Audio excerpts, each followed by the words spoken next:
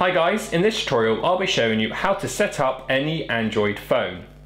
Now, when you first unbox your device, you've inserted your SIM card and you've powered it on for the first time, you're going to have to go through the steps of setting it up.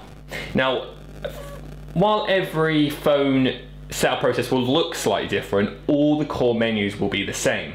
So I'm showing this on a Samsung, but these options will apply for Sony, Motorola, LG, HTC, um, Alcatel, basically most any device uh, will have these set of options. So to kickstart, you'll want to be pressing uh, your language. You want to select your language from the list and select start. From there, I'll ask you to connect to your Wi-Fi. Obviously, you'll find your Wi-Fi on the list. I'm not going to, uh, I'm going to toggle this off because I just want to go through them. But from there, you want to select your Wi-Fi, enter your password, select next. Here, as usual, you'll be asked to agree to the terms and conditions. Again, select next and agree. It will now check your connection. So this is when it will look for things like your SIM card just to see what you've got. It'll also, um, as it's in there, manually check for any updates.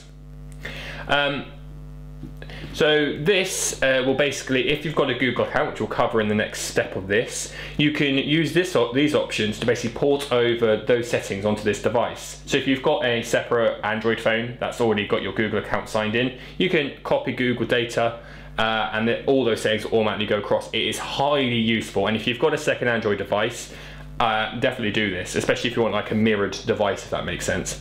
Obviously, I'm going to put no thanks at the moment. He'll then check all this info again. Now, this is the most important bit. This is when you'll uh, add your Google account. Now, your Google account will be the basis of downloading apps, connecting to Google Apps. It, you know, it uses your Google account is pretty much the the most essential part of your this setup process. So, if you've already got an email account, just type it in there or the phone number associated with it, but arguably use the email.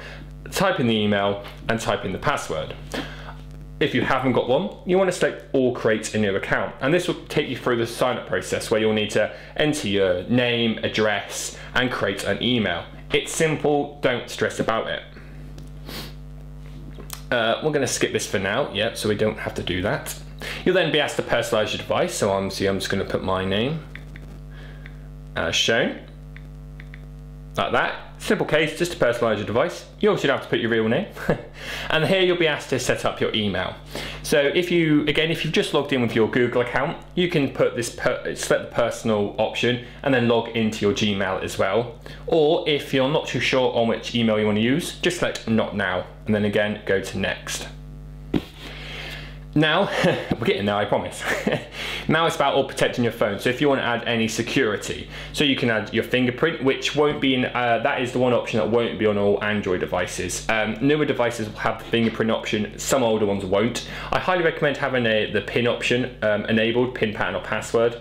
So you'll be taken to that screen where you can create your own uh, basically security layer. So when you try and unlock your phone, you'll have to go and enter a pattern or password first. Or you can choose no thank you if you don't want that and skip anyway. Then you'll just want, you'll have to be scrolling through this, press next, those are all okay, there's nothing malicious there. And then obviously what will happen then is that you'll be taken to your final account screen. So for Sony users, this will say Sony account, Motorola, Motorola account, uh, you know, whatever make you've got, they'll want you to create the, your own account with them. Uh, this isn't uh, vital. You don't have to do this. Um, the Google account is a much more important one. Samsung, uh, if you do have a Samsung phone, I'd recommend it just because of the Galaxy App Store. Um, but it's not worth, you know, you don't have to. You can always scroll to the bottom and select skip. And the same as here, you'll be able to copy all your device, all your stuff.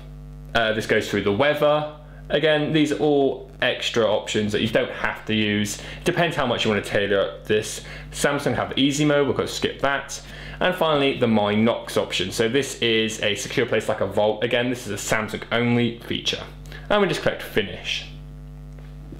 Well, I think that's the finish. And after that, your phone will process and the install and setup will have finished. You then be have free range to kind of do whatever you want. But that is the basics of how to set up any Android phone. Thanks for watching.